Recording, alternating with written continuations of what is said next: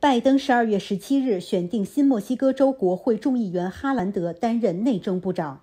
如果获得确认，他将成为历史上首位原住民内阁成员。哈兰德的提名得到了一些进步派团体和原住民部落的支持。内政部是一个七万人的庞大机构，职责包括管理联邦土地、陆地和离岸自然资源、原住民事务、国家公园、环境安全等等。特朗普任下撤销了许多保护环境和临危物种的法规，进一步扩大了石油和天然气开采。如果获得参议院确认，哈兰德可能会给该机构带来重大政策转向。拜登承诺将禁止在公共土地上批准新的石油和天然气开采，这一努力可能需要来自国会的行动。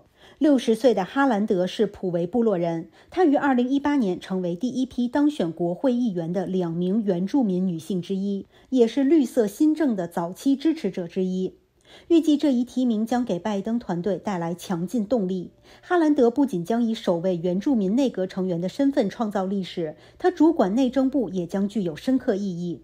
该机构的主要职责之一包括处理原住民事务。批评人士表示，这一工作往往不足。如果哈兰德的提名得到确认，众议院将出现第三个空缺。民主党在众议院的多数席位优势有进一步缩小的危险。